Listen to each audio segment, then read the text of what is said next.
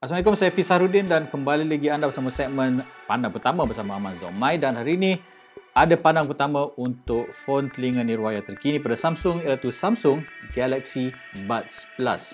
Jadi Buds Plus ini jika anda lihat dari segi bentuk rekan fizikalnya tidak ada perbezaan. Anda lihat casing perbezaan yang terletak pada kemasan di mana pada Galaxy Buds Plus kemasannya adalah lebih berkilat menyamai apa anda lihat pada Apple AirPods dan juga pada Huawei FreeBuds 3. Sekali lagi perbezaan tidak dapat dilihat dari segi rekaan buds itu sendiri masih lagi sama jika anda boleh lihat sekarang.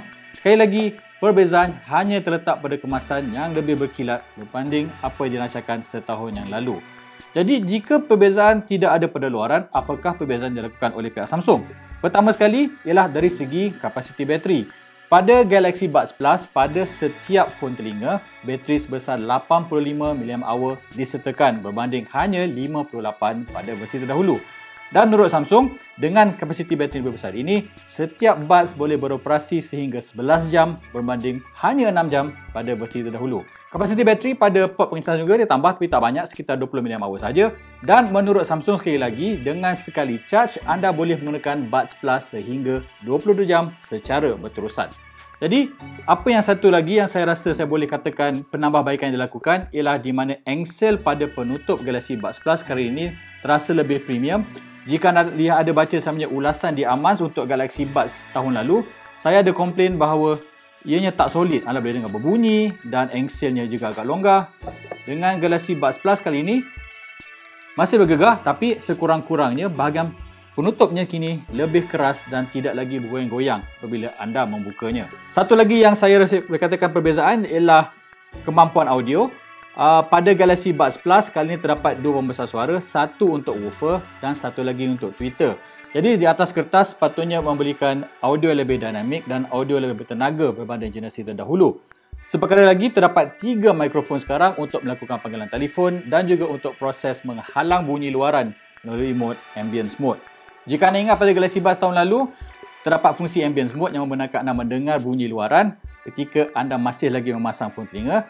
Tetapi dengan ambience mode baru ini, terdapat tetapan sehingga tiga yang membolehkan anda mendengar dengan lebih jelas. Jadi masalah anda tak dengar orang bercakap pada anda ataupun tak dengar horn kereta tidak lagi akan berlaku. Dan pertama kali dalam sejarah Galaxy Buds, akhirnya anda boleh menggunakan kesemua fungsi yang disokong pada Buds pada peranti Android dan juga pada peranti iOS.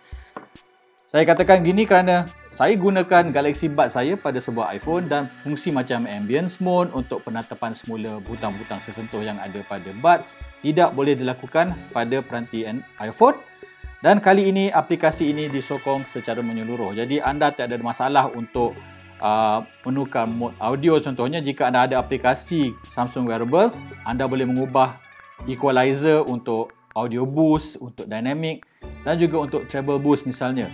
Satu yang uh, satu lagi perkara yang sangat menarik tapi saya perasan tidak diiklankan oleh pihak Samsung ialah pada Galaxy Buds Plus anda akhirnya boleh mengubah tetapan bunyi.